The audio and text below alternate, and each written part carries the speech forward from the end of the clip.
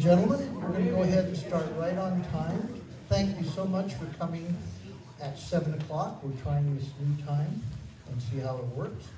Um, I'm Fred Bologna, president of the Carmel Residents Association. First of all, I'd like you to thank Barry and Kathleen Swift for providing you with refreshments as you came in. Thank you very much. Um, we always give little gift for our guests. We have two copies of Stories of Old Carmel. Now, some of you have these on your chair, and some of you have numbers written on the back. So I'm going to call two numbers, and if you happen to have that number, you will be a winner of Stories of Old Carmel. So the first number is number six. Number six? no idea.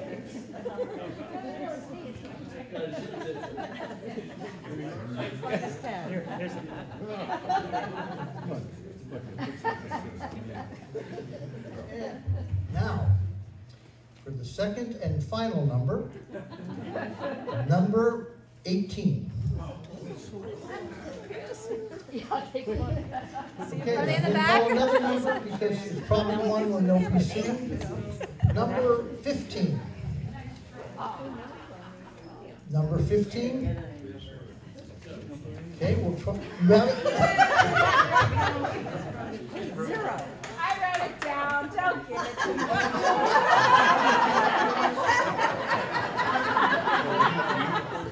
I need to see your vaccination card.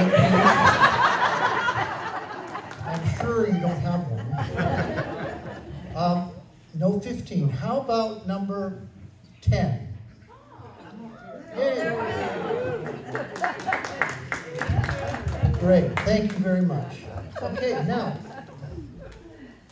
um, if you are not a member, there are envelopes on the table over there against the side wall in case you'd like to become a member. It gives you a way to join.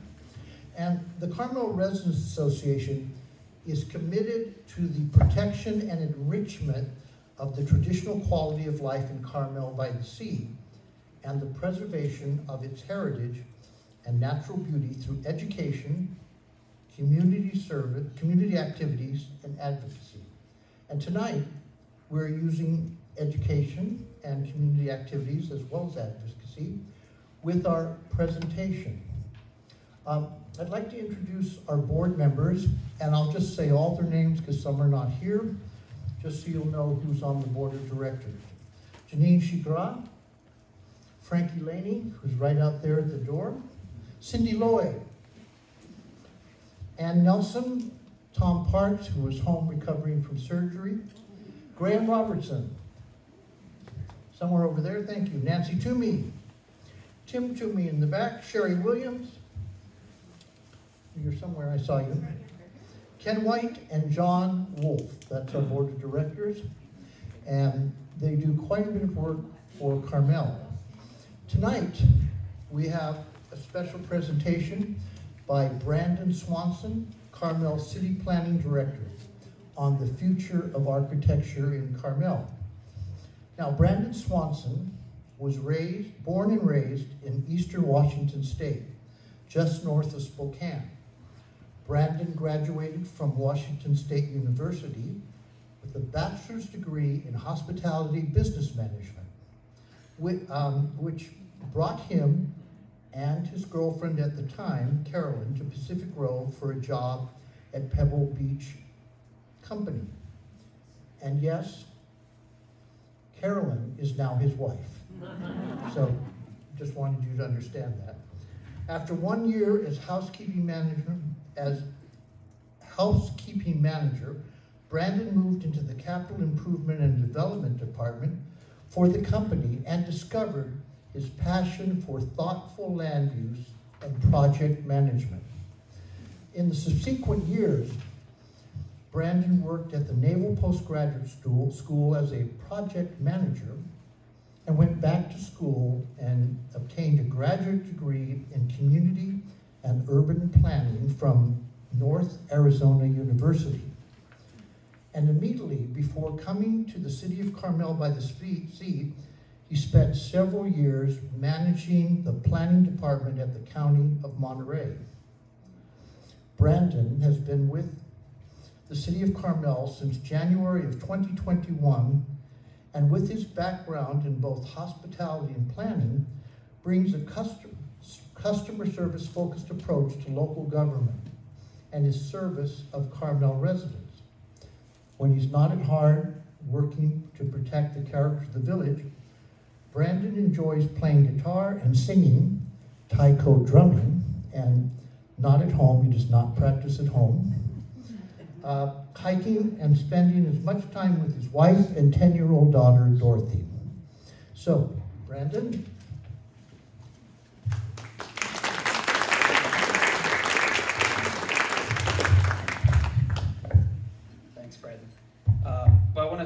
and everybody can hear me okay. I'm a little higher up from this microphone than most people would be, so um, hopefully everyone can hear me okay. Um, I want to thank you know, the, the board um, and everyone here at the CRA for having me tonight. Uh, it's a real honor to be here with you. Uh, special shout out to my pal Nancy here uh, for helping me pull together you know, what, what we thought would be a nice program for this evening. Um, and so just early on, just want to thank you all for having me here. It's been great the last year plus to be become part of this community. I've been in Pacific Grove for 17 years, so I'm really familiar with Carmel by the Sea. When I was going through my job interview, uh, I used words like magic and things like that because this place is magic to my family and I. This is you know where I bought my wife's engagement ring. It's I bring my daughter here to the Bach Festival. Uh, come here shopping is where we spend a lot of our extra dollars on dining and things like that. So this place has always been really special to me. So it was pretty easy decision when I got the offer uh, to come here from the county. So thank you for having me this evening.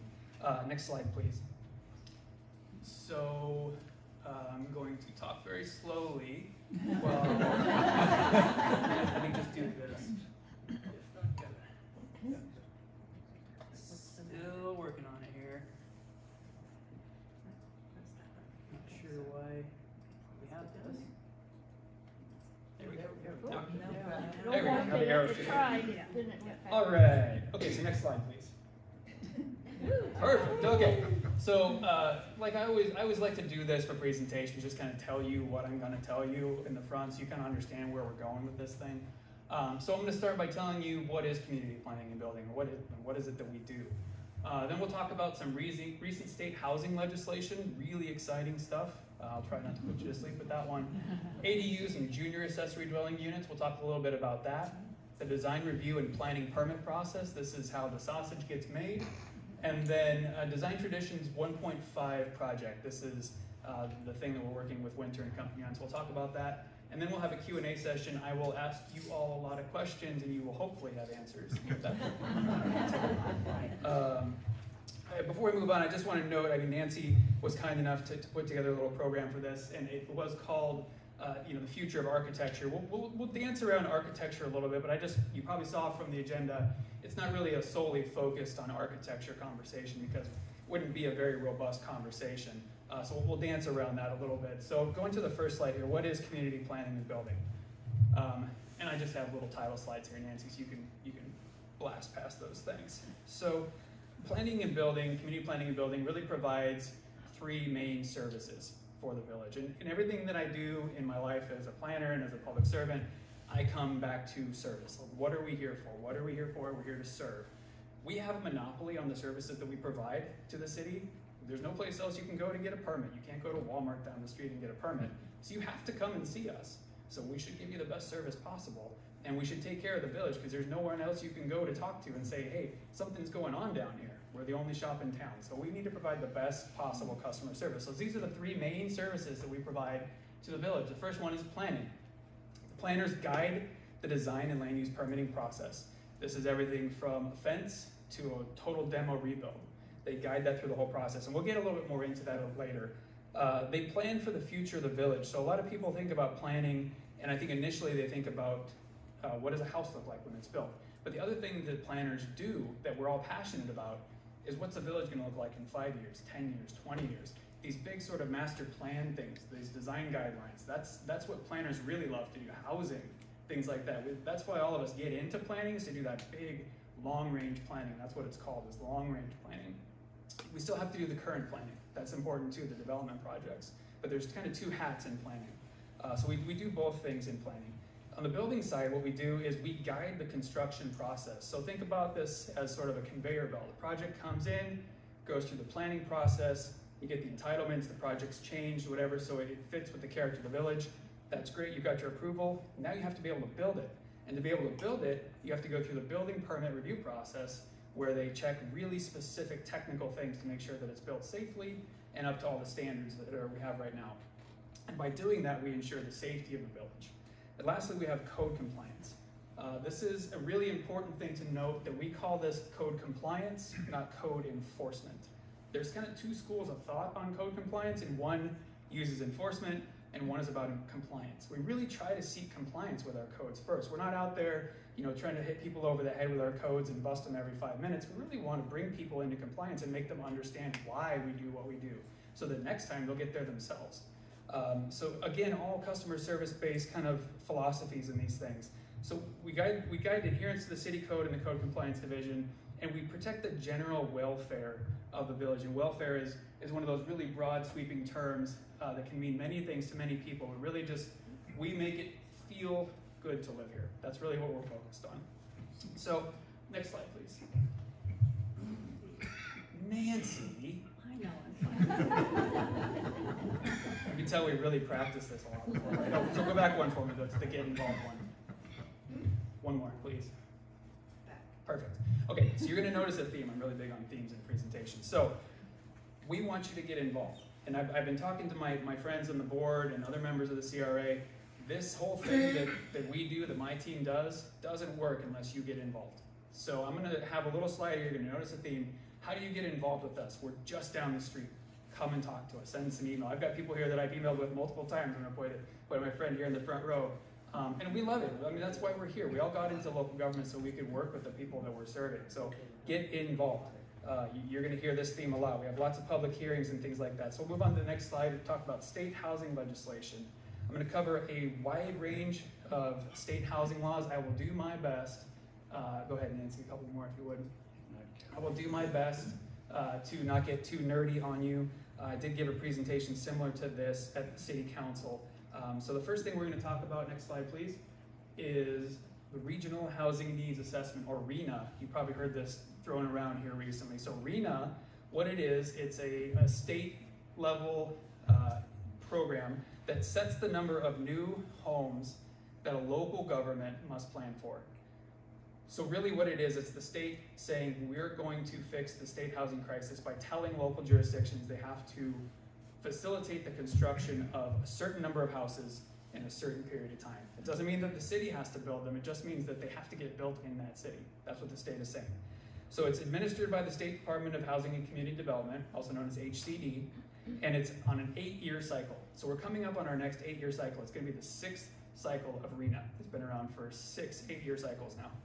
Um, it breaks up the affordability of housing, low, very low, moderate. Uh, you've heard these terms thrown around. And it ties into our general plan. And for those of you that don't know what a general plan is, in land use, there's a hierarchy of regulatory documents. At the very, very top in the state of California is a thing called a general plan. It's essentially the big guiding principles. It doesn't have really specifics like your house can only be 18 feet tall. Big, huge guiding principles that everything below it, zoning code, design guidelines, policies, they all have to be compliant with the general plan. And every jurisdiction is required by law to have a general plan, and it has to have a set number of certain elements. And that's what each section of a general plan is called, is an element. So we have a housing element in our general plan that needs to be updated in 2023 as part of the RHNA process. So that's where we're going with that. So each, each region of the state is given this housing unit allocation, and I like to refer to it as a pie. So our region is pretty big. It includes like South Santa Cruz County, the entire Monterey County. The state gives us this whole pie. This whole pie that says you have to take this pie of housing, you have to spread it across your entire region. And that is, uh, that is the responsibility of our, our Council of Local Government or Council of Government and the COG, as we like to call it. And ours is the Association of Monterey Bay Area Governments, or AMBAG. Probably have heard that acronym too. We have a lot of acronyms in our world, and I'm sorry for that. So I'll do my best not to use them. Um, but anyway, our, our region's COG is AMBAG, and they have to adopt a methodology to split that pie among us. So next slide, please. So our pie for the region is 33,274 units. That's across 18 jurisdictions, so it's not that many if you think about it. You know, South, South Santa Cruz County down to the, the southern tip of Monterey County, 33,000 housing units the state is saying have to be built in the next eight years, starting in 2023. So they draft this methodology, AMBAG does, and they weight certain categories. You know, are they going to put more housing in areas that have available employment or close to transit, uh, risk of natural disaster? Uh, so they, they start working through this methodology of how to split this pie up for us all to get our own slices. So uh, next, next slide, please. So this methodology uh, is applied by AMBAG, and our slice right now of this pie is the third smallest in the region, and it's 349 units. For some reference, uh, you've probably heard a lot of this scuttlebutt. It's gone up quite a bit since the last cycle. Our last cycle number was 62 units that we had to build in an eight-year period. We're now being told that we have to build 349 units. Um, this is being felt across the entire state. It's not just us. It's not just our region. Um, there's, there's a couple that are smaller than us. The largest pie slice in our region is Salinas, as you might, you might expect, 6,600 units. Um, so this is, this is a real issue, and it's, it's an issue for twofold. One, because we're not being given much of a choice, but two, it also does represent a real problem. Housing is a real problem in California, and it's a real problem here in Carmel by the Sea. So we need to figure out how we're going to address it. So as much as we may not like state programs that tell us everything that we have to do without without sort of bending at all. Um, there is some good there's some good rationale behind this. We have to figure out how we try our best to meet that. So what are the next steps? So at this point, AMBAG has adopted that draft methodology. So that number that I showed you is approved by our local COG. AMBAG has approved it. That's on its way now to the state. So HCD in the next month or so will be approving or, or denying that number. They're probably going to approve it. Then it comes back to our local level one more time for AMBAG to say, okay, good, let's go. And then what happens after that is there's an appeal period. Like any project, you all know about appeal periods. So there's an appeal period where any local jurisdiction can appeal that number. So if the Carmel by the Sea wanted to, they could appeal the 349 units we've been told we have to build in that eight-year period. So if no appeals happen, then the, the, the plan is adopted in June and July. And by December of 2023, we have to update our housing element of our general plan to include that number and how we're gonna get there. And I'll talk a little bit more about that in a minute, but I wanna go quickly through some of these recent Senate bills. So everything in here we're talking about right now is housing based. These Senate bills are pretty recent and they were put in place to try to increase housing stock. So there's three, three pieces of legislation, SB 8, 9, and 10. Uh, in my opinion, and I've talked to a lot of my counterparts as well, there's likely going to be little to no impact Carmel by the Sea, and there's a lot of reasons because of that, a lot of reasons for that, and I'll get to that here a little bit later. Next slide, please. So SB 8, I'm going to go over this one pretty quickly. It's an omnibus cleanup bill, which is just a fancy way of saying it's it's a bunch of stuff dumped into one piece of paper that cleans up a bunch of small things. Um, you can see what's on the screen there. I don't have to read it to you, but it's really just about uh, you know making sure the governments can't change their mind uh, when they have housing programs in place. SB 10, next slide, please is a voluntary item that local jurisdictions can do. Uh, you can adopt an ordinance to increase your density, meaning you have one piece of property. Let's say right now you're only allowed to have one single family dwelling on it. You can increase that up to 10 units per lot if you have the, if you have the room for it.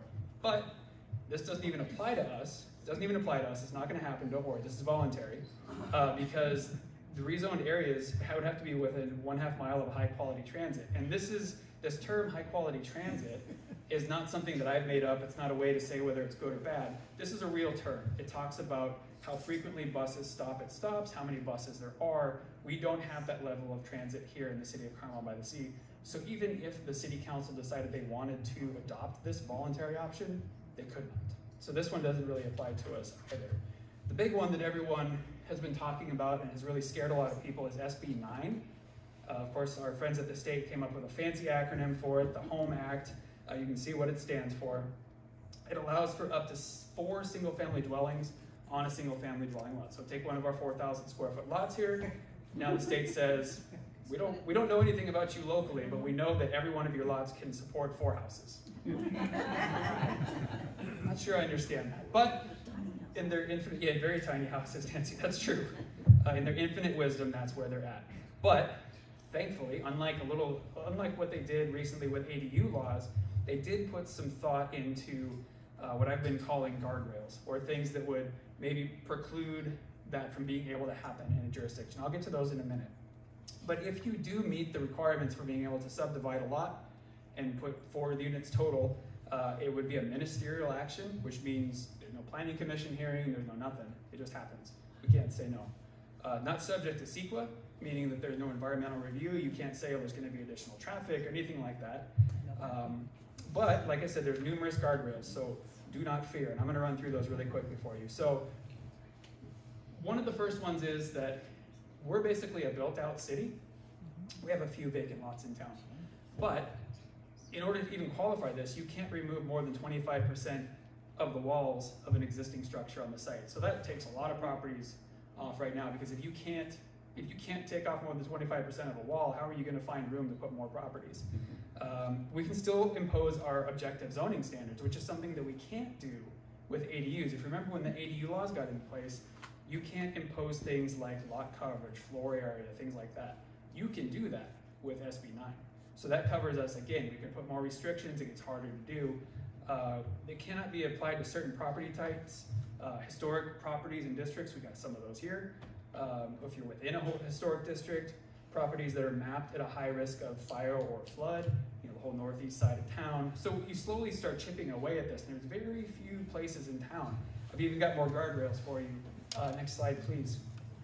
So you can't split the lot any smaller than 40, 60. So if it was gonna happen, it's not like you can, you can take a 4,000 square foot lot and create a 500 square foot lot and a 3,500 square foot lot. It has to be evenly split so it's actually developable. We can still require parking. You can't, can, you can't get an additional ADU. Uh, the owner has to occupy it for a minimum of three years. So there's deed restrictions on these things. You can never use it as a short-term rental. And one of the things that I really like that they did, because it's again, it's not going to affect us, but I think that this prevents this from going sideways in bigger jurisdictions, is that the adjacent parcels cannot be subdivided by the same owner or partners of the owner. So you're not going to get a developer that's going to come in and buy 20 lots, scrape them, subdivide them, and build all these units. It's just not going to happen. So I do want to give the state a little bit of credit. I still don't like it when they tell us what to do, but I want to give them a little bit of credit here because I think they put more thought into this than they did the ADU laws. Uh, the very last one, I saved this one for last because this is the death knell in my opinion. You gotta have water. I mean, how are you, where are you gonna get the water around here right now? There's no water. So I think we're pretty safe here in the city of Carmel by the Sea. Uh, I didn't even put anything up there on the slide, but you know, just this the sheer costs and to make a project like that pencil to take a 4,000 square foot lot and split it, and it just doesn't make sense. Um, so that's that. The next thing, just real quickly, to talk about housing. So those are the, the three recent pieces of legislation. This is just an interesting slide that I like to share with people because we are talking again about a real problem. Uh, housing is, is a real problem. Um, and we, we have a unique situation here in Carmel by the Sea uh, with, our, with our vacancy rate. Uh, you can see here in 2010, we were the sixth highest in the state and the highest vacancy rate in Monterey County. Same thing in 2021 with projected census numbers. I think, I feel like when I talk to people and when I walk around town, the general wisdom is the number might be a little bit higher than 36 or 38%. Um, I see a lot of heads going north and south here. Um, but these are the best numbers that we have. Um, but it's certainly this, that's the lowest it possibly is. I, I would venture that it's in the 40 to 50 range if I was just gonna make a guess. But uh, next, next slide, please. So how do we solve this problem? I'm talking about problems, and that's never a good thing to do without offering some kind of solution. So the thing about RHNA and all these things where the state's pushing them down into the local jurisdictions, in the past they have been pretty lackadaisical about enforcement. They just have all these ideas so that the legislators can say, look, I passed this bill, I'm solving housing, nothing ever really happens. So recently, uh, the state has started to make it clear to us regulators that they will start regulating us much harder. And they have actually started with a couple of jurisdictions in California who, um, you know, choose your favorite gesture, have given a certain gesture to the state and said, no, thank you, uh, we will not be doing anything, you can't tell us what to do. So right now, the state is at least focused on those jurisdictions and it's going after them. But one, it is a real problem, and we want to try to solve problems. And two, we don't want to be one of those people that get that gets in trouble because that means ultimately you stop being able to get funding. Uh, there's a lot bigger things that can happen to a jurisdiction if you get in a big battle with the state, and we don't want to do that. Um, so how do we solve the problem? What we're going to do is we're going to do what's called a housing feasibility study, and uh, my staff received, applied for and received about $300,000 in grants uh, from the state. So the state, thankfully, is, is willing to give people money to do this stuff. So we have three state grants, uh, and it's an opportunity uh, to explore the barriers to building housing in our city and to try to locate some opportunity areas. So what does this look like? It's gonna be my staff, it's gonna be a professional firm that does things like this. It's boots on the ground, we're walking around, looking at the downtown area, looking in the residential districts, city-owned land. Um, you know, we have just an example of what this might look like. Some, some ideas might be in the downtown area. We've got buildings, we have a few two-story buildings in a row, one-story building in the middle, more two-story. Maybe we have more second stories, and we're not gonna get 350. I just don't know where we will stick 350 units in town, but maybe we can maximize our mixed use a little bit in the downtown area, um, things like that. So we're gonna work with a professional company, and we're gonna try to find these opportunity areas and come up with ideas of how we can incentivize building that housing. Because like I said earlier on, city can't build the housing. We, we, we just can't. Um, so we need to find a way to incentivize the right kind of housing that fits with the character of the village to be built here in the village. Uh, so that report's going to inform how we comply with RHNA, and then ultimately, remember when I talked about the general plan element update, we got to put those RHNA numbers in there, and we have to put in how we're going to get there. So this housing feasibility study will then bring us back to the beginning of what I was talking about and give us the update material that we need for our general plan update. So what I've been doing over the last few months, I've been collaborating with my, my counterparts in the various peninsula jurisdictions who are all freaking out as well. And we're trying to put our heads together because, you know, two, three, four, five heads is better than one.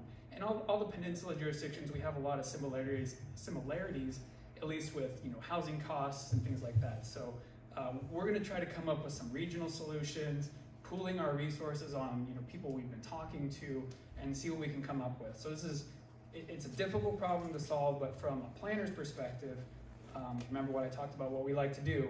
We do like to solve these kind of long-range problems, but it's not going to be easy. So that's housing feasibility study, and that takes me to my redundant slide. How do you get involved with this? I want everybody to get involved, so please come and get involved. The housing feasibility study, there's going to be public hearings for this. We're going to be taking public input. We're going to do our Friday letter, we're going to do all that stuff. We want you to get involved. The general plan update, that's a big process. There's going to be planning commission meetings, city council meetings. It's got to go to the coastal commission because it's part of our local coastal program. Lots of opportunities to get involved. So please, please, please get involved. Call us, ask questions anytime you want. We're here to help you. Please call us if you have questions. And those AMBAG meetings that I was talking about, those are public meetings too. Attend those, make your voices heard. We actually have, I don't know if anybody knows this, we actually have an AMBAG board member in our audience today. Our council member Ferlito is on the AMBAG board. Each jurisdiction has a board member. So you have a conduit here in the city, myself or council member Ferlito that you can talk to. You can go to those meetings yourself. So we, I'm going to be really a broken record on this, but one of the things I've been trying to push in the year that I've been here is better communication with everybody in the public and trying to get you all involved because that's that's the only way this thing works. So I'll get off my soapbox on that one, but you can hear it again soon, I promise. Uh, next thing to talk about is ADUs and JADUs. Next slide, please. So, another piece of state legislation from our friends up north. This was again intended to increase housing stock. The concept is that an ADU, just by nature, it's smaller, is going to be affordable by design.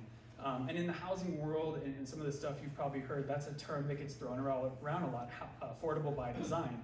There's affordable by income verification, that's at low, very low, moderate, and there's a whole system. There's like there's there's uh, regulations on land. Somebody has to check um, income every year. Those th those are the things that really really help you with your RHNA numbers. And then there's affordable by design, which are smaller and they're going to be more affordable.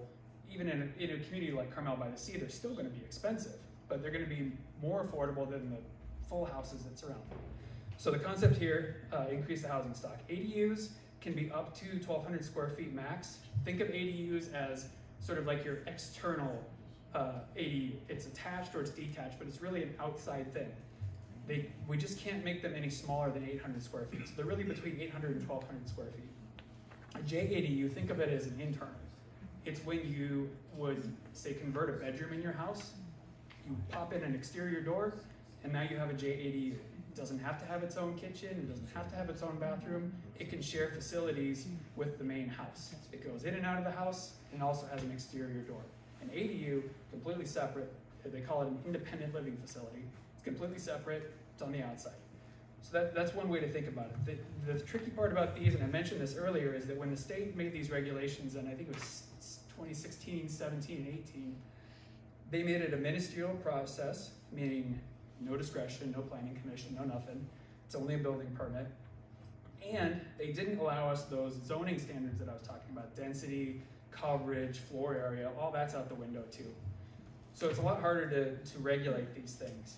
Uh, next slide, please. There are still some areas of control. Um, grab another drink of water, excuse me, please. There are still some areas of local control. The big ones are health and safety related. It's water, it's sewer, it's traffic, it's public safety.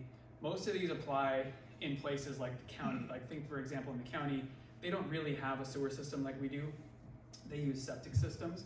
And so if you have a property where you can't expand the size of your septic system, uh, then you, you just can't get an ADU. There's very few things that can stop an ADU, but things like that can. Um, we do have some places where we can guide an ADU and sort of mold them to be um, a better part of our community.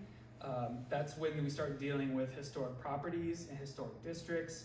Uh, looking at the design, it's limited, um, but as long as we can uh, create some sort of somewhat ministerial, meaning like a yes no question for what the design is. So if we can craft a language in an ordinance that is basically says the ADU has to look and feel like the main house on the property, that's kind of a yes or no test. And so we'll probably be able to get away with something like that in an ADU ordinance because it's still kind of ministerial. Um, but it's important to note that uh, you still have to have water credits. You can't just decide to put an ADU in. At this point in time, the Water Management District has not made the decision that ADUs are zero impact on water use. So you still have to have enough water credits to build an ADU. So that's really important to keep in mind. Uh, next slide, please. So what has to happen? We do have we do have regulations in our books for accessory dwelling units. They're outdated. Uh, they predate all those state regulations that came out. So right now we're essentially subject to the state regulations that came in place. That's what the law said when the state came out with ADU. They said our rules apply unless you have an ordinance that's been updated after this date. We have not done it yet. Um, to date, since 2017, only 39 ADUs have actually been approved in the city of Carmel by the Sea. I don't expect you to be able to see that map. I have a much bigger version I can share later if I want to, but they're kind of, you can see where the little colors are around town. Uh, they are pretty spread out. Um, but recently at our uh, priority meeting with the city council we had in this room as well, they did prioritize drafting an ADU ordinance so we can try to wrap our hands around this a little bit. Uh, it is good timing because I'll talk in a little bit, we're gonna be uh, embarking soon on a design guideline and zoning code update. So those are on separate tracks but related to each other. So we'll be doing that at the same time, which is nice because we can keep our minds on that. We can't necessarily regulate the ADUs directly through that process, but we can use what we do to the design and the zoning related to the main single family dwellings to guide what that question that I talked about earlier, the yes or no question of does the ADU match with the house. So we can think about that. There's, there's a way we can get there. Um, just as a side note, I wrote the AD ordinance for the county right before I left, and so I'm pretty familiar with this stuff.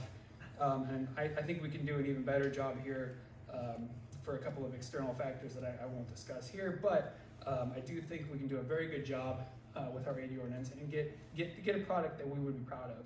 Uh, next slide, please. Did you see that coming? so how do you get involved? Uh, AD ordinance, I just talked about it. It's a public process. It goes through the planning commission. You better believe we're gonna do public workshops before we even get there.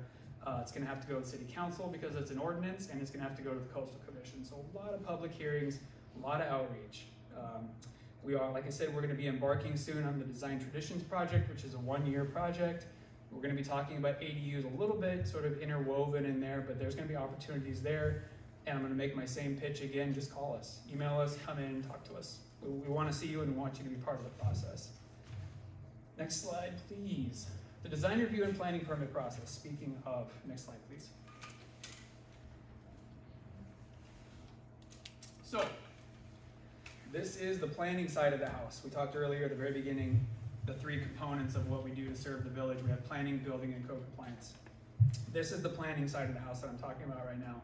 There's two basic tracks, and that's the term we use, tracks, for planning review. Um, there's a track one, which is at the staff level. Uh, they're generally at the staff level. If there's something that we feel is is major in nature, or has public controversy, we will elevate it to the planning commission so there can be a public hearing. But generally, track ones are minor projects, think fences, windows, roofing, uh, and in our code it says additions less than 10% of what's existing. So they're really small. They're not things that should in any way be changing the character of the village. It should be small enough that it's just a little bit of, work going on. Uh, we, we still post them on our city's website. We send out notices of pending decision so people can get involved if they want to.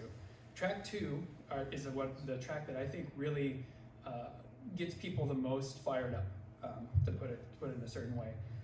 This is new construction for the most part, and this has the most impacts on the village. It's a two-step public hearing process. This is in our code. This is codified right now.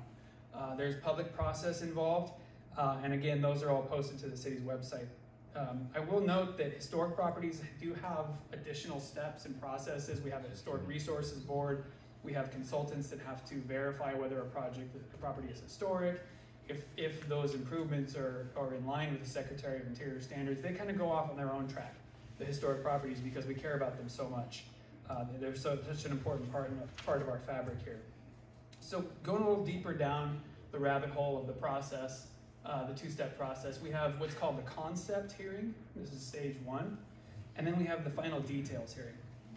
Now, originally, the concept hearing was designed in our code to really just be about uh, volume and massing and just the sticks. Like you really, initially the concept hearing, they didn't look at colors, materials, anything like that. That didn't come until the second hearing, and so there wasn't a lot of time to refine that. Um, but what we've done over the, over recent years is modified that concept hearing so there's more of the project that's developed early on so that can, the planning commission and the public can see it all, phase one, see things like materials, colors, lighting, uh, roof materials, all that stuff. So that's the concept hearing, and that's a public hearing. No decisions are made at that hearing. I think that's a very important thing to, to say again, there's no decisions that are made at those concept hearings. It's guidance from the planning commission. They either say, yes, we accept this uh, preliminary design concept, or no, you missed the mark, go try again. And this is really important. We have a process right now that does work, uh, and it works better when people get involved, and I'll talk about that in a minute. Uh, so once, once you get past that concept hearing phase, then you get to the final details hearing. This again is either the same project or it's a project that's been refined uh, since that preliminary hearing, and that's where the decision is made. So that's the permit. That's when the planning commission approves something, and then it becomes appealable to the city council if someone wants to. So what's the staff do in this? What, is, what does my team do with respect to this design process? What they do do is guide, suggest, inform, review, and process the application.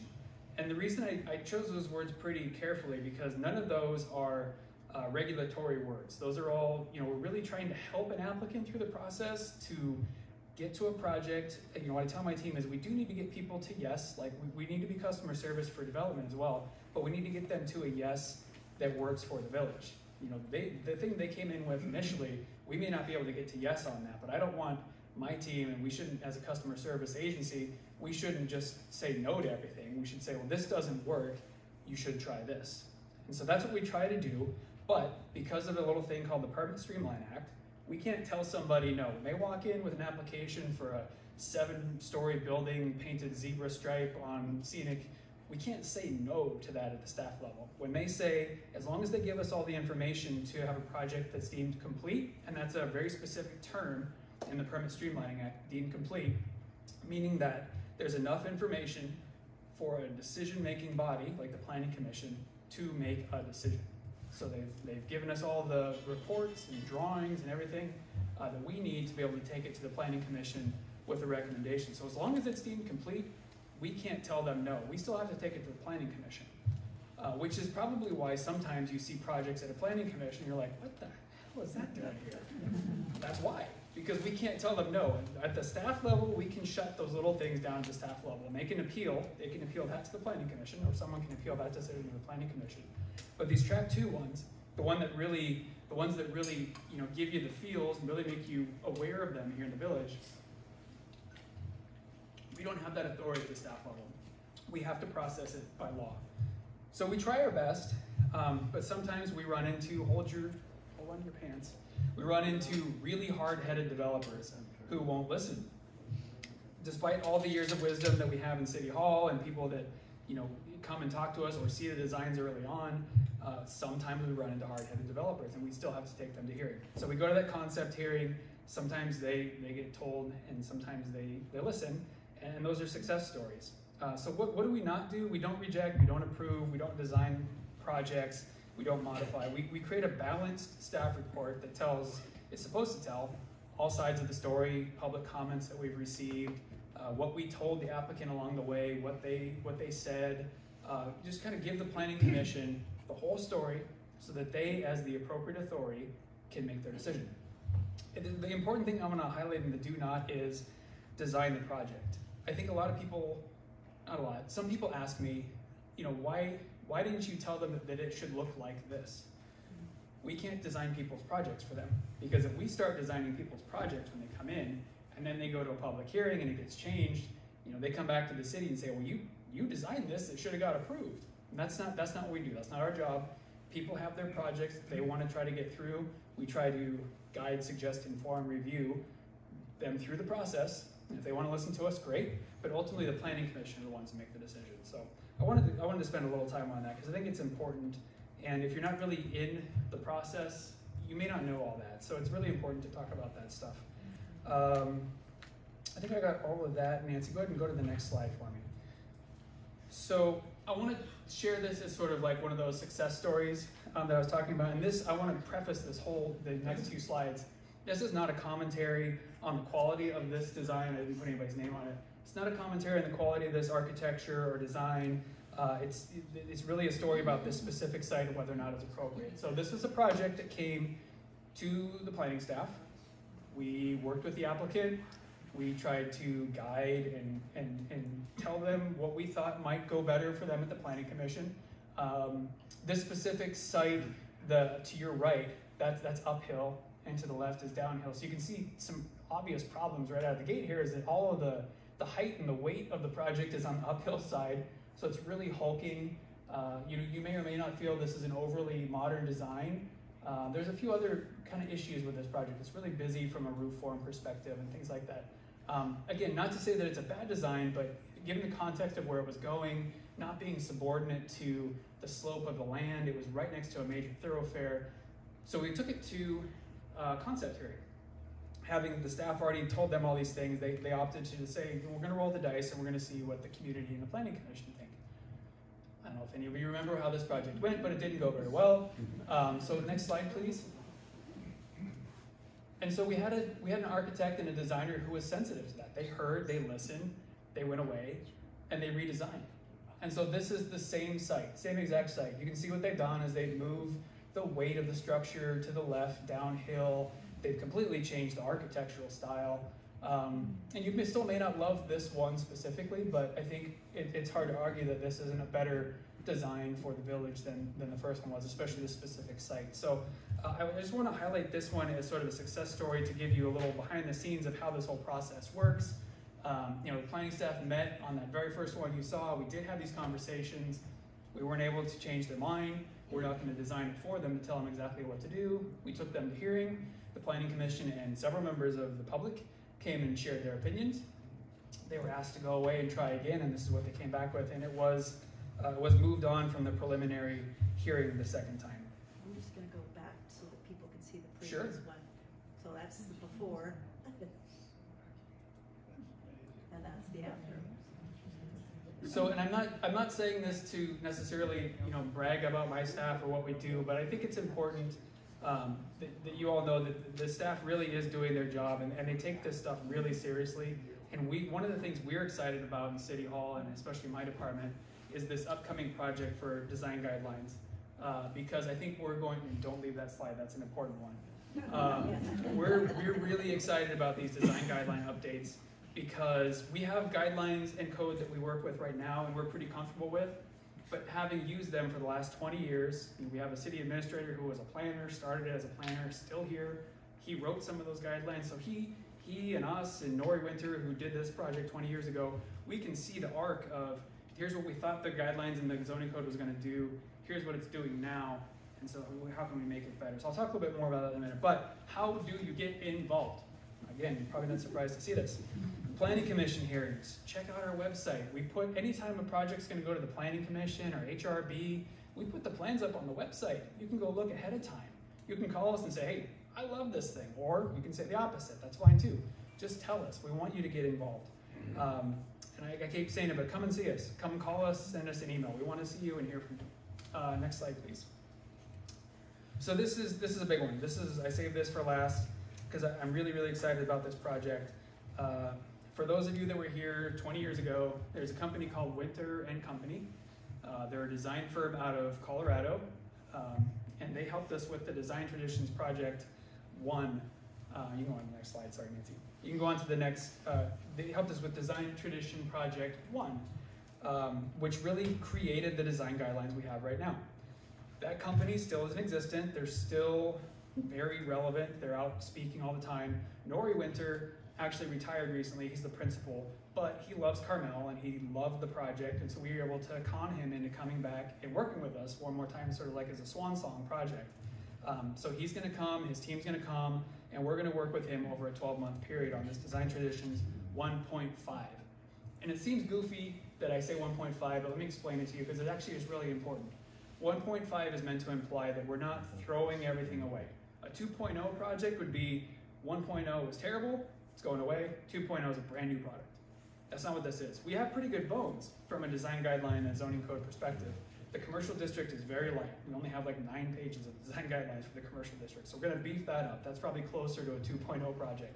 But the residential design guidelines are pretty darn good. They just need to be updated. They need to be refreshed. There's new materials, there's new methods of construction. We've got all these green energy things that we need to think about. Um, and so that's what we're going to do. We're going to refresh uh, the, the design guidelines. Um, so the zoning code and the design guidelines are going to be done at the same time. And this is important because they're interrelated. Uh, think of the design guidelines as, as sort of uh, not soft necessarily, as more descriptive. They use words like encouraged, or this is appropriate, or this is inappropriate. They don't have hard and fast law rules like shall and shall not and prohibited. Those rules and those languages are saved from the zoning code. But the zoning code is sort of the legal mechanism to implement those design guidelines. So they go hand in hand. The zoning code is where you find things like this is how tall the ridge of a building should be. These are the plate heights, the setbacks from different properties. Uh, so the design guidelines talk about what it looks and feels like. The zoning code is how you actually do it. So they have to be done at the same time, and that's what we're going to do. And it's to be a really good opportunity to bring both into uh, the modern era at the same time. So like I mentioned, we're working with Winter and Company again. Um, they remain very active. Uh, let's go to the next slide. I've got some fun pictures on here. So this is from 20 years ago. This, this is what happened 20 years ago. This was at the, the Carmel Women's Center. Um, and the, this was very interactive. And this, this is what I, I foresee happening over the next year. We laid out uh, these these large pieces of paper that showed blocks. There was you know fake little houses like Monopoly houses.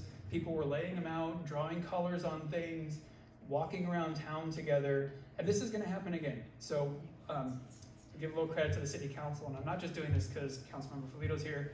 We started with this project at the beginning of the year when I first got here. We had a $15,000 line item for staff basically to do this project and just essentially have Winter and Company take a look at it and say, yeah, it looks pretty good, or you really screwed it up. That's all we could afford at the time. But City Council, in their wisdom, said, you know, this isn't going to be enough, and this is this is an important enough project. We need to beef it up. So over a series of a couple meetings, we're now at about $140,000, and it's a one-year project with Winter and Company coming here physically several times, managing community meetings like this, preparing documents, preparing illustrations, using their expertise that they have from working all over the country in communities like ours to make this a really, really great project that will hopefully last us another 10 to 20 years. So I'm really excited about this project. Uh, some of the things that are coming up soon, the council is going to be appointing a steering committee. There's going to be a total of five members on that steering committee. Each council member gets one. And this steering committee is intended to sort of be the, the closest interaction with me and my team and the, and the consultant. Um, we're going to meet about once a month. Now, those, those steering committee will also be asked to be part of every single community workshop like this, all the planning commission hearings, and all of the city council meetings. So there's a lot of public outreach that's gonna happen, and there's a lot of, gonna be a lot of opportunity for everyone to get involved. I keep saying it. So, you can see all the public hearings and public workshops we're gonna have. The process is really designed to bring the residents along, and that's what we talked about with the city council at the several meetings we had, is the only way this works, and the only way that it really does what the village wants it to do, is that if everyone gets involved. And you're probably noticing the theme now. So Design Traditions 1.5 is intended to serve the village, and I hope that's really what it does. So we're looking forward to more of these things. I think we'll probably have some more digital components uh, this time around, but there's definitely going to be some pencil and paper, and there's going to be some real hands-on opportunities for anybody that wants to get involved. Uh, next slide, please. So what's, what's the timeline on this? We got the contract approved in March. Uh, we've already started working with Winter and Company. Uh, we're developing just sort of like the rough schedule, some early documents, some PowerPoints.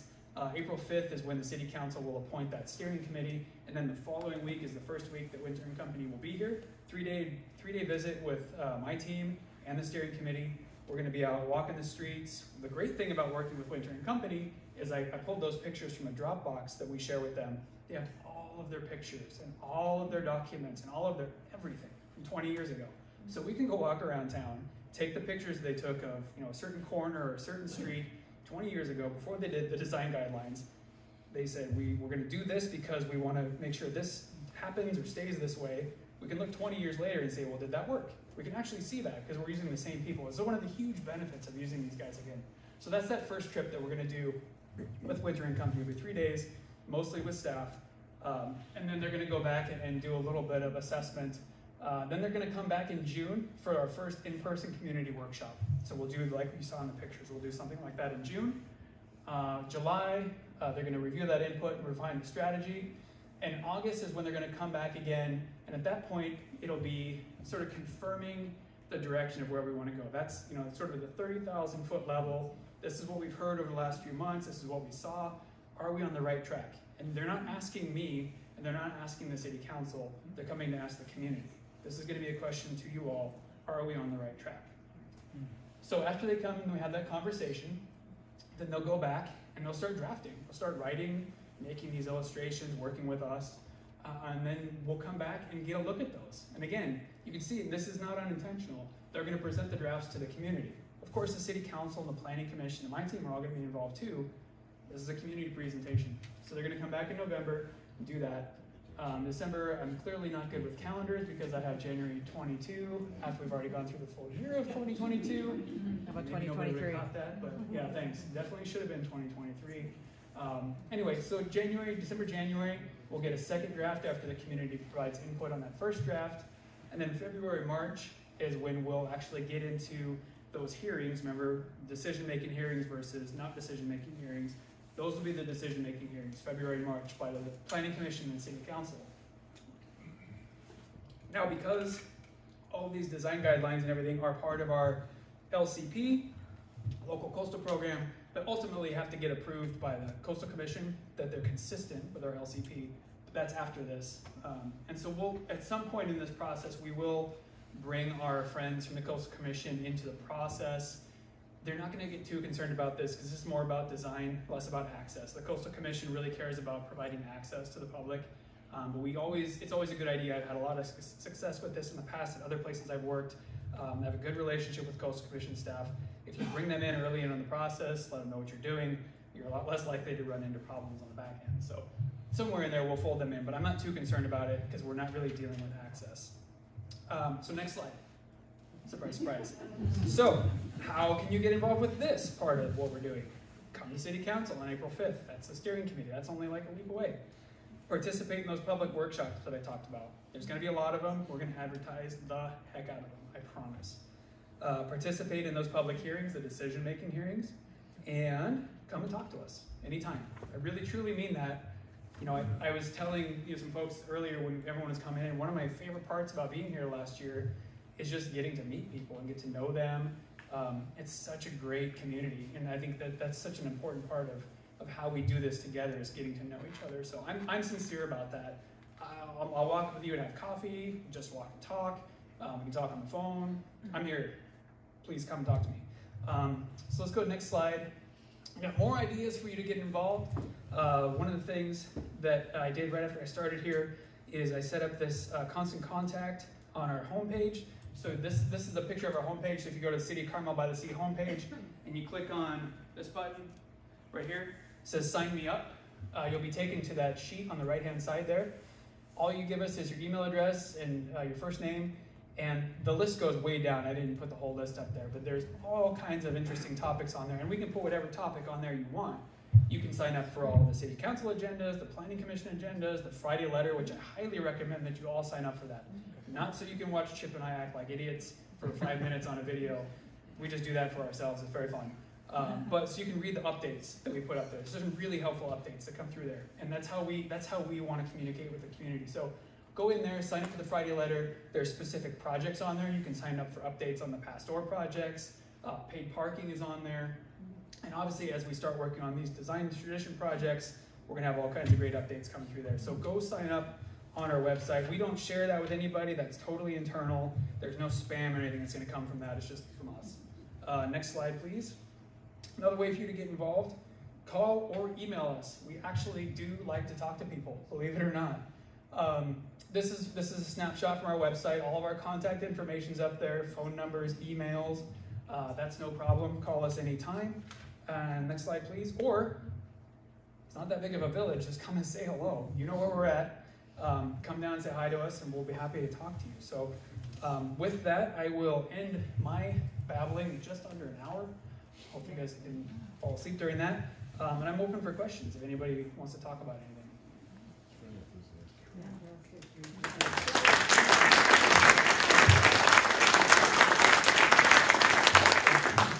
Very necessary, but thank you.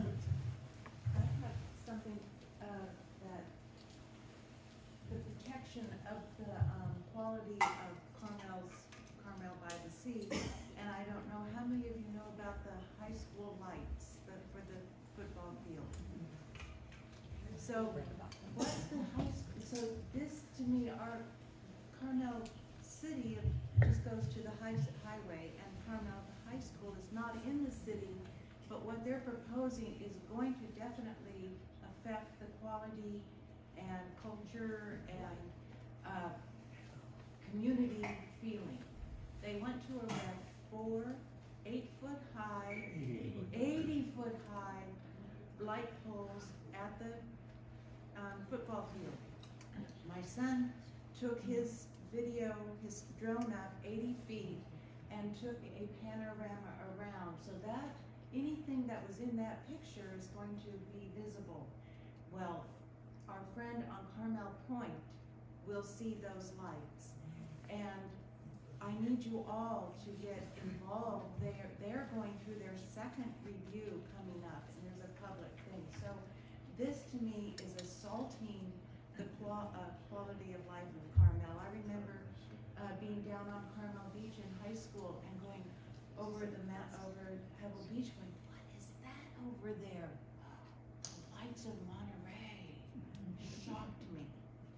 Well, you're gonna, ha- if those lights go in, pave paradise and put up a parking lot, and you don't know what you've got till it's gone, and it is going to be gone if those lights go up, I feel. So I need that to be part of Carmel's, um, City of Carmel's awareness that our, that our bubble, and then when the fog comes, everywhere. So please look into that, because that's, if this is Carmel, um, to preserve the heritage and all that. So, okay. Thank you. And I'll, I'll comment on that a little bit. So Um, the thing about a project like that, they've already done one EIR, which is an environmental impact report. Just what the topic is, so Oh, we can catch up. Yeah, so we're talking about the, the proposed lights up at the, the Carmel High School. Um, they, they've already done one EIR, which is an environmental impact report. That's under the world of CEQA, which I could talk a long time about and bore you to death, but I won't. Uh, long story short, that's the highest level of environmental review that you can do. Uh, it's a long process. It costs them, it costs them about 130 or 140 thousand dollars to prepare the document. It gets publicly circulated. There's comment periods, and then they have to decide whether or not they can adopt it. What they've done is they've said we're going to do another one. So they're going to do a second EIR. CEQA is all about public process. That's why CEQA was created in the 70s, is so that there was public notice for impacts to the environment. So getting back to my ad nauseum theme, if you want to get involved with that, keep your eyes out. Uh, we are a, uh, a, sister jurisdiction, we're in the sphere of influence, so we do get a copy of the EIR sent to us when it comes out. Uh, we can put it up on our website so that anybody can see it. It's a public comment period, so you can comment on the EIR, you can go to the hearings. Uh, it's not in our jurisdictions, we have zero decision-making power on it, but we can influence it as a city. So keep your eyes out for that, and when we see the EIR come out, we'll post it on our website. Ultimately, how is the decision made to pass it or turn it down? Who makes the decision and how big is that body? For the lights, Mhm. it's County of Monterey. So it'll be the planning no, commission. Who? Like Who? What seven department? individuals on the county commission, what? Oh, so the planning commission for County of Monterey is ten people. There's ten planning commissioners, and then the city, uh, board of supervisors is five. So do they all vote and their vote is final? Yeah, so their, their planning commission functions just like ours does. Uh, planning commission is a, is a, uh, sort of like a standard regulatory body that any jurisdiction has to have. So they function just like ours, there's a public hearing, they make decisions, they make findings, a resolution, and their decision is final unless it's appealed within an appeal period. So it's a straight up and, up or down vote. That's right. Those fifteen, is that right? A ten, so the planning commission is first, the planning commission is ten people. Okay. And then if the planning commission decision is appealed, that's appealed up to the board of supervisors, which is akin to our city council. So we have planning commission, city council, Is board of that five? supervisors is five, Okay. planning commission is ten. Each board of supervisor appoints two planning commissioners in the county. So that's who she would like to talk to? Absolutely, absolutely. Thank Hi, Shirley. Hi. Um, I have two questions about the ADU. Mhm. Is there any uh, required off-street parking for ADU? That's a great my question. First question. Okay. The Second is, what's the maximum square footage coverage uh, on a four thousand square foot lot? So, okay, so I'll repeat those two questions. So the first question was, is there, what are the, what are, the- basically, what are the parking requirements, uh, when you have ADUs? And the second question is, what's, what's the maximum coverage allowed on a, a single-family lot? Um, and so I'll answer the first question first. The parking requirements for an ADU, uh, if you're converting a garage, for example, you don't have to replace that parking. This is for an ADU. Remember I talked a little bit about ADU versus JADU. JADU think of internal, ADU think of external. So for JADUs, you are required to provide parking, and they do count towards site coverage. They're they're they're not as um, hands off as an ADU is. Um, but for an ADU, you don't have to replace the parking. You don't have to provide parking. So if you were to build an ADU, you don't have to provide parking for that second unit. You still just have your one parking space that you're required to have under our code. As far as the site coverage, um, are you you're asking about? We can't control ADUs based on the site coverage. So if, if you have a 4,000 square foot lot, uh, you have a 1,600 square foot house. If you can jam an 800 square foot ADU in there, you can do it. We can't say no to that. What about trees? Uh, well, they can't. So that's a good question. So, um, so Nancy asked about trees. Uh, they, ca- you, you don't get a free pass at cutting down trees. That, that's not something you can do with an ADU. So, but if the, if the maximum ADU is twelve hundred square Mhm. feet, somebody had the water credits and all of that, they don't have to do additional parking. And then, so they can do twelve hundred on top of the normal density requirement. So i- adding all that together, are, are we looking at a three thousand square foot home on a four thousand square foot it'd be 3,000 square feet of, of two homes, basically, Yeah, because an ADU is separate. But yes, that's correct. But if you, if you remember what I said earlier, the, the minimum we can regulate to is 800 square feet. So once we have our ADU ordinance in place, because we have such small lots and because of the trees, you can put things in there that says we, here's why we're unique and we can't absorb any bigger than eight hundred square feet. So that's my goal and intention is to write an AD ordinance that limits it to eight hundred square feet. Right now, we're operating under state law, and so it is twelve hundred square foot max. Be very challenging to cram twelve hundred extra square feet onto a property anywhere in town right now, but, um, yeah. But the eight hundred square feet is a minimum. Uh, We can't make it any smaller than that. So we, we can't regulate down below eight hundred square feet. So we can say in our ordinance, you can't have any bigger than eight hundred square feet. We can't, we could never say you can't have any bigger than six hundred and fifty square feet. Eight hundred feet is sort of that line that we can't cross as regulators. Eight hundred square feet is considered a state, uh, a state exempt ADU. So we, that we're totally hands off on eight hundred square feet.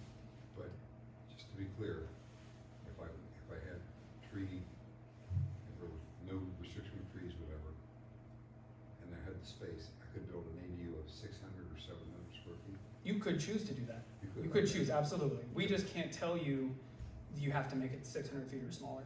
Okay. Yeah, that's a great question. Yeah. So the question was, sorry, I keep forgetting to repeat. The question was, one, um, can someone build smaller than eight hundred square feet if they choose to, of their own volition? And the answer is yes, you absolutely can. What's the water district doing about this, this issue? Anything? Are they discussing this? Yeah, that's a great question. So, um, you know, one of our planning commissioner, commissioners uh, is involved with water very heavily. Um, I, I worked with them a lot when I was at the county. At this point, like I said earlier, they, they, they're not looking at an ADU as a no impact situation. So you do have to have the water credits. Now, you don't have to put a new meter in. So this is the difference, right? If you're gonna build a second or a new home, you have to put in a water meter and it's a new connection. And as we all know, there's a moratorium right now on connections because of the, the Carmel River. Um, but ADUs don't fall under that. You just have to have enough water credits. So if you can convert some really inefficient facilities, or you happen to have water credits floating around, or you happen to buy Malpaso water when it was for sale, then you can do it. Um, but as of right now, they're still requiring you to have water. There has been some conversations over the last couple of years uh, in our jurisdiction and in others that you know water management districts might say to help move the ball forward on building ADUs, we're going to say they're no impact. Whatever water you have is okay to build an ADU. That hasn't happened yet here. I don't think there's anything on the table right now, um, but that has come up a couple times. Um, I'm just very delighted that we will have uh, many opportunities to get involved. And, uh, Oh, you caught that. Yeah, I caught Nice that. job, Carol. There's no prize. I'm sorry, but Thank still you, did a you for job. that, and Karen also had a role in that. And um, um, Mike Brown made me promise to bring up uh, Pacaso, Mhm. uh, which is like a timeshare of I'm not a fan of his art, but okay. Uh, So, can you kind of talk about that and what we're gonna do about it? I can talk about it very little. Um, what I can tell you is that we are currently working with our city attorney. Um, so, so the question was about Pacaso, and it, it- anybody that doesn't know what or who Pacaso is, uh, think of timeshare, but maybe not. So, what they do is Pacaso is a company. They buy a property, a very expensive, high-end property, places like Carmel by the Sea, the Highlands, Napa. The company Pacaso buys it. They're nation, they're worldwide, by the way. They're an international company. They buy this property, they buy it under an LLC. So the, an LLC is really buying this property. And then what Pacaso does is they put this LLC up for sale fractionally.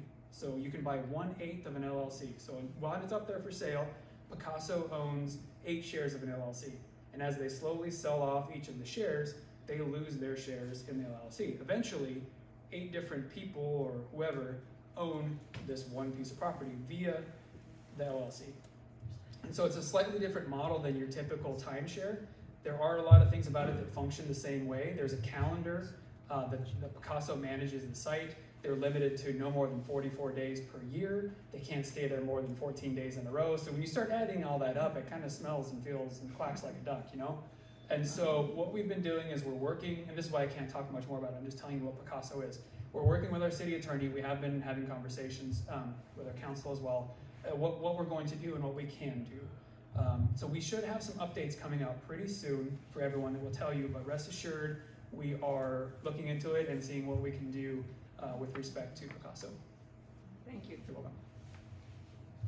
I have a question about this issue. When, when we went, switched to volumetrics and Mhm. things in houses, it forced every house to look alike. you know, it, It's like music to my ears. I, I love what you're saying it now. just, Yeah. it drove me back, so I lived here for thirty years. I wanted to build a one in twelve to one in Mhm. fifteen roof, and it had been outlawed by volumetrics. Yeah. That's a great question. Okay. And every house looks the same, Mhm. and everybody's taste changes in this village. I mean, what you like and you like and I like probably have nothing in common. Mhm. But I sort of feel everyone has their right to do things within limits. But volumetrics eat cho- choice away. So- Are we going to address this? So the question is uh, about volumetrics, and it sounds like a very fancy word, but basically what it is is how big is something. Um, so in our in our process, in our the planning process I walked through earlier, and this is in our code and our design guidelines. There's a thing called the volume study, and what that does is basically it's a mathematical equation uh, where you take a house, the box, and the roof, and any appurtenances that's living space, and you add it all up, and we have limits for the volume that you can have for a house. And the reason that this was put in originally, 20 years ago, was because we wanted to prevent these massive, huge, bloated houses. Um, and but the formula that was used is pretty darn complicated. And what ends up happening is there's really only two or three roof pitches that allow somebody to max out. So this is where this is where it happens. It allows people to max out their development footprint because there's a couple of roof pitches that make the volume such that you can get the biggest amount of floor space. So it has it has put a bit of a damper on creativity for steep steep roofs, you know, varied roof pitches and things like that. So absolutely, that was one of the first things I put on my list when I started going through this was we need to look at volumetrics. I still think it's important, but I think we need to look at the standards of how we do it. Keeping in mind the purpose of why we did it, so we don't have these big bloated homes, but is there a way we can do it better and sort of guide people towards thinking create more creatively about roof pitches and forms and things like that. So we're absolutely thinking about it. I mean, even a, a design exception guideline, in other words, people say, this, this design warrants a variance. Mm-hmm. You know, because I understand the reason behind it. Yep. But it, I'm sorry, Oh, you don't you don't have to apologize. I agree with you. it sucks. Yeah. Your words, not mine. Anybody else? Yeah, I, you know, the SB ten talked about having tran- you know, transportation hub, and why wouldn't we consider the Diefendorf Park where all the buses re, uh, you know, come and go, be a Yep. transportation hub, so that therefore we would have to provide that, um, additional housing in those. Yeah, that's a good those question. So uh, the question was about that SB ten. It was one of the three regulations that I talked about, SB eight, nine, and ten. So SB ten, if you remember, was the voluntary one that a city can do. You can adopt an ordinance to increase the density of your zoning, going from only allowing one single-family residence on a piece of property to up to ten, if you have the room for it, obviously. But one of the things that disqualifies us right now from that is not having that high-quality transit. And, uh, and and high-quality transit is not a knock on you know how clean the bus is or how nice the bus driver is. It's really it's really uh, a, a scientific term that talks about how frequently the bus comes, the size of the buses, the number of routes, and things like that. So you it's it's like a grade that you get for transportation systems. Um, so we currently do not have what's considered by um, MST high quality transit. Now maybe that changes in the future, but all that would do is give the city council the opportunity to decide whether or not they wanted to adopt an ordinance to increase the density from one to one to two, three, four, five, six, seven, eight, nine, ten. They can they can choose. Um, so that's all that would do. That's all that would change. Would just give the city council the ability to make that decision. On the back here, you gotta raise your hand, man. You can't just stand up.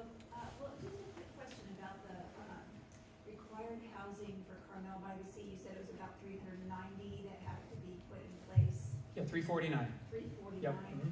But there's still issue the water. Absolutely. So how is that going to work? You're, you're a natural born planner. I love it. this is this is the this is the head scratcher that we have too, and it's it's it's even deeper than water. So when the state comes forward with these well-intentioned pieces of legislation, it, it's done as a one size fits all. You know, they're thinking places, you know, like downtown Sacramento, like they've got you know more resources.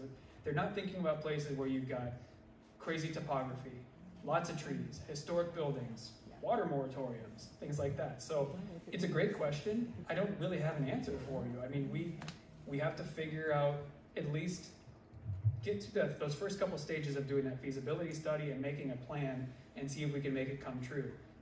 Uh, At some point, the state's gonna have to do something to help with the water, because it's just a real problem. Well, just to follow up, so AMBAG made all the, distributed all the. Correct. um, Portions of housing in the different from the Santa Cruz County or southern part Yep. towns. Mhm.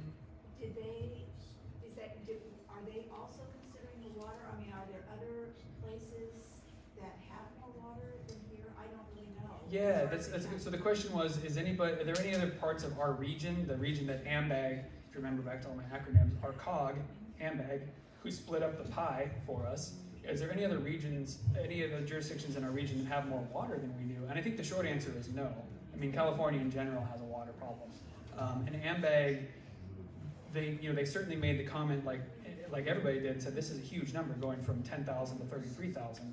But there's nothing they can do about it either. They're just given a, a pie that they can't return, and they have to split it up. So, um, yeah. Can you comment, um, it seems that one of the reasons it sort of tripled was that now they have to consider overcrowding? Mhm. Mhm. So what, the question was, it seems it seems that perhaps one of the reasons it's almost tripled is because they're trying to accommodate for overcrowding, um, and I think that's true. I think you know some of the other conventional wisdom that's out there is they're trying to make up for deficient numbers in the past. I mean, maybe their their RHNA in the past wasn't enough, and so now they're trying to play catch up, which just because you forgot to put you know 10 gallons into a five gallon bucket doesn't mean you can pour it in there now just because you forgot about it um, so that's kind of where we're at i mean you're absolutely right it's a little bit of catch up it's a little bit of uh, trying to make up for this overcrowding situation that we have i want I, I, graham did try to speak so I, go ahead Thank you. Graham Norton. Uh, thank you. Uh, a very good presentation, and uh, you've answered a lot of my questions anyhow. Uh, excellent. Um, and I'm sure my question is probably known by vast majority of people here. But for the uninitiated, how are the, how is the commission comprised? How does it how is it created? Who are they? our planning commission Yes. So the, that's a great question, and that's very topical. I did not ask him to, to say this. So right now, uh, there's open applications for all of our boards and commissions here in the city. Planning Commission, Historic Resources Board, Forest and Beach Commission. There are people, there are members on all these boards that their terms come up, and they can either choose to reapply or they can just be done. And so you have to apply. You apply with the city. You apply through the city clerk. And then ultimately, it's it's the members of the city council who appoint people who have applied. They look at, uh, at it's sort of like your curriculum vitae, your, your, your resume, your, you know, what are you going to bring to the table, your specialties, and then they, they appoint people. So it's an appointed position. It's not a public election or anything like that, but you do have to apply to the city. Right. So, so it's an employed position. Uh, it's probably better to call it a volunteer position.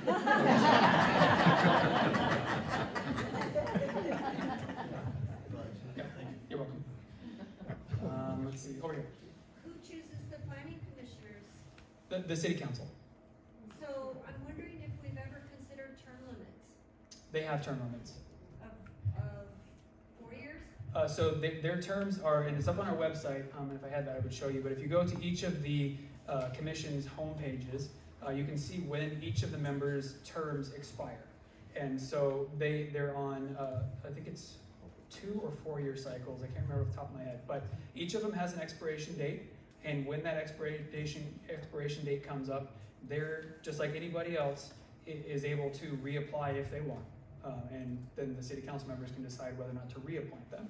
It, it seems, um, it feels like perhaps we should talk about a, a one-time period of four years and then you're done, so that we get fresh, No, they learn the job. Fresh You know, it's, I've, I've heard, I've heard both, I've heard both points on this. Um, I've heard people say that so you get fresh blood.